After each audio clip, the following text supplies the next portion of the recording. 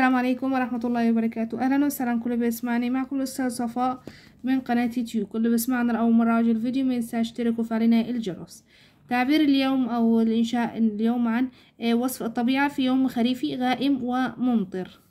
أو تعبير عن وصف يوم خريفي غائم وممطر. طلب مني من أحد متابعي القناة هذا الموضوع. كتبت لكم يا رب يعجبكم وتستفيدوا منه. يمكنكم أخذ أفكار منه إذا لم يعجبكم وإذا كان الموضوع طويل يمكنكم التلخيص بطريقتكم. نقرأ الموضوع على بركة الله. في يوم خريفي متقلب طقسي قمت بنزهة إلى بستان مجاور في الصباح الباكر. لفت الشمس الكون بوشاح من نور وما هي إلا ساعات قلائل حتى بدأت الغيوم السوداء بالزحف عاملة معها أمطار غزيرة. سؤال صف الطبيعة في ذلك اليوم بشمسه وغيومه وأمطاره وصفا وجدانيا تبين فيه أن لكل وجه من وجوه الطبيعة نكهته الخاصة. الحل انطلقت خطواتي في صباح خريفي مترددة بين دفء الشمس ونسمات باردة تحمل رائحة, أوراق الشجر الذابلة.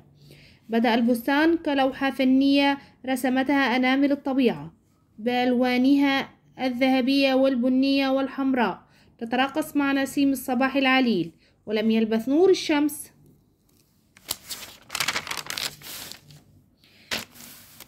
أن غطى الأرض بعباءة دافئة تداعب وجهي وتنير دروب النزهة.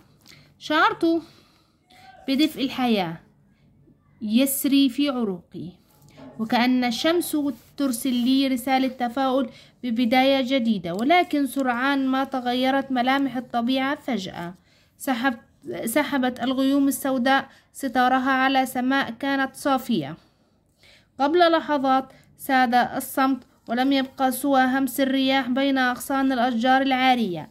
ازدادت برودة الجو وشعرت بقطرات المطر الباردة تهطل على وجهي كأن السماء تبكي على زوال فصل الصيف. تحولت ألوان البستان إلى ظلال داكنة. اختفت اختفت معالمه تحت ستار من المطر الغزير. شعرت بخوف غامض كأن الطبيعة تحذرني من مخاطر قادمة. وسرعان ما هدأت العاصفة وظهرت أشعة الشمس من جديد. وظهرت أشعة الشمس من جديد من بين الغيوم. كأنها تعلن انتصارها على الظلام. عادت ألوان البستان إلى الظهور ولكن بلمسة من الحزن والرهبة. وفي تلك اللحظات أدركت أن كل وجه من وجوه الطبيعة يحمل نكهة خاصة. فالدفء والضوء يشعران بالأمل والتفاؤل. عفوا يشعر يشعراني يش بالإشعراني بالأمل والتفاؤل. بينما المطر والظلام يثيران مشاعر الخوف والرهبة.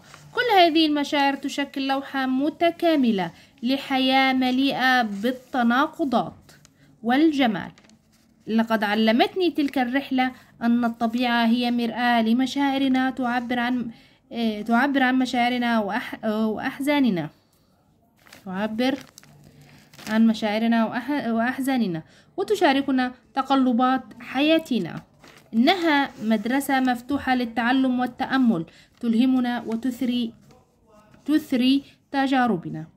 لقد علمتني تلك الرحلة أن الطبيعة هي مرآة لمشاعرنا تعبر عن مشاعرنا وأحزاننا وتشاركنا تقلبات حياتنا.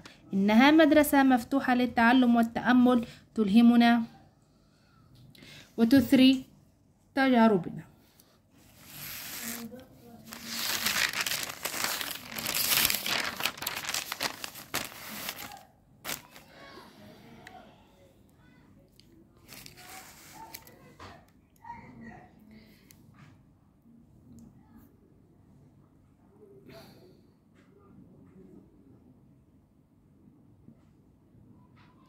لو كان الموضوع أو الحل طويل يمكنكم التلخيص. على حسب عدد السطور المطلوبة بنكتب طبعا التعبير.